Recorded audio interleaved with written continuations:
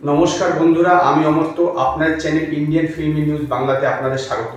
এই অরিত্র মুখোপাধ্যায় যদি সিরিয়াল বানানোর ইচ্ছে থাকতো তারা একটা সিরিয়ালই বানাতে পারতেন। কিন্তু এই সিনেমার আগে সিরিয়াল বানানোর চেষ্টা, কেন আমি বুঝতে পারলাম আপনারা নিশ্চিত বুঝতে পারছেন যে অরিত্র মুখোপাধ্যায় বলতে আমি পরিচালক, ফাটাফাটির পরিচালকের কথা বলছি এবং আমি ভিডিওতে আপনাদেরকে ফাটাফাটি কেমন হয়েছে সেই সম্পর্কে জানাব এবং সেখানে যারা অভিনয় করেছে তারা কেমন অভিনয় করেছে সব কিছু আপনাদের সঙ্গে শেয়ার করব।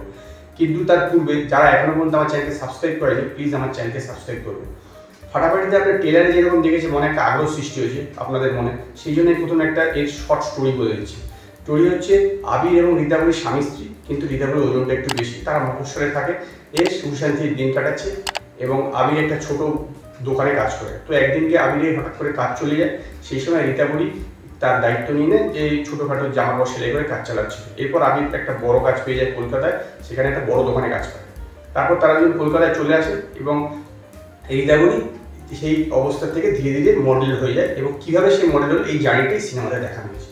তো আপনারা যদি আমার এই গল্পটা প্রথম থেকে শোনেন, তাহলে লক্ষ্য করবেন আমি কিন্তু কারোর নাম বলতে পারলাম না, কোনো ক্যারেক্টার তার কারণ হচ্ছে নামগুলি এরকমই অদ্ভুত যে সত্যিকারের সহজভাবে মনে রাখা অত্যন্ত কঠিন। দ্বিতীয় কথা হচ্ছে, আমি শুরুতেই বললাম যে এর জার্নিটা দেখানো হয়েছে, যে কীভাবে মডেল হলো। কিন্তু ভাই জার্নিটা তখনই মানুষ রিলেট করতে পারবে যখন সেই ক্যারেক্টারটাকে প্রথমে ডাউনে নিতে হবে, তারপর সে যখন জিতবে। মানে ক্যারেক্টারটা যখন সাফল্য হবে তার সঙ্গে মানুষও এনজয় করবে।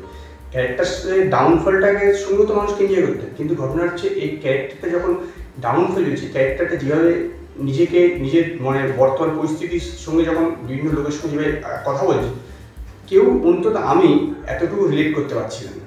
আর সবচেয়ে বড় কথা কি, সত্যি কথা বলতে কি রাস্তাঘাটে মোটা মহিলা কি থাকে না তাদের কি কেউ রাস্তাঘাটে এরকমভাবে টিটকিরি মানে থাকে? এরকম এরকমভাবে কথাবার্তা বলে থাকে? আমার তো মনে হয় না। সেই জন্যই বলছিলাম না, শুরুতে একটা উচ্চ কিছু সিরিয়াল এবং সত্যিকারে এই সিরিয়ালে যেরকম হয়ে থাকে, অনেকটা সেরকমই মনে হচ্ছিল, উচ্চ জামা এবং এতে স্বস্তিকা দত্ত অভিনয় করেছেন। এই স্বস্তিকা দত্ত যে ক্যারেক্টারটা মানে সিরিয়ালেরও হাই লেভেলে চলে গেছে। এবং তিনি যেভাবে অ্যাক্টিং করছিলেন, ওই ক্যারেক্টারের জন্য হয়তো বা কিছু যাই হোক, যে কারণে হবে মানে নেওয়া যাচ্ছে না জাস্ট নেওয়া যাচ্ছে না। এত হাই লেভেলে সিরিয়াল চলছে। মনে হচ্ছে সিরিয়ালই চলছে।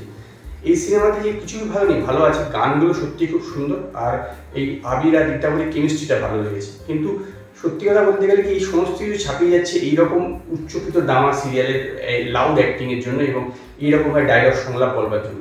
এটা কিছু কিছু হাসির মূলকে পুরো বিষয়টা দেখানোর চেষ্টা করেছে, কিন্তু সব জায়গায় কিন্তু হাসি পাচ্ছে, কিছু কিছু সিন হাসি আছে কিন্তু সব সিনে কিন্তু হাসি পাচ্ছে না।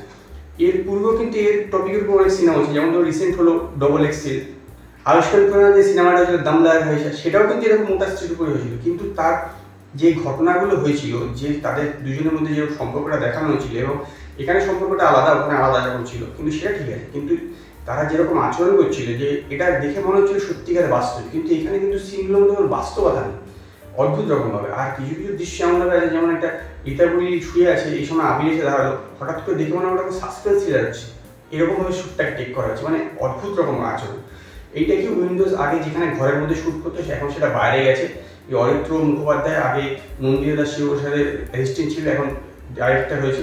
সেই সব ঠিক আছে, কিন্তু উইন্ডোজে এর আগে যেসব সিনেমাগুলো করেছিল, প্রাক্তন, পোস্ত, ঠিক আছে?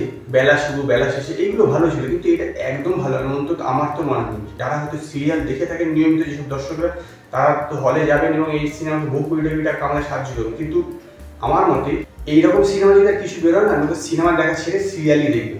লোকে কমার্শিয়াল সিনেমার কথা বলে কমার্শিয়াল সিনেমার কোনো মাথা মন্দ নেই আগামাথা থাকে না, হ্যান কিন্তু অন্তত চিঙ্গিস বেরোনোর পরে কমার্শিয়াল সিনেমাটার মান তৈরি হয়েছে আর সেই তুলনায় যদি হিসাব করে দেখেন এইসব সিনেমা সত্যিকারেরই একদমই নেওয়া যাচ্ছে না। মানে এত হাই লেভেলের সিরিয়ালের মতো লাগছে।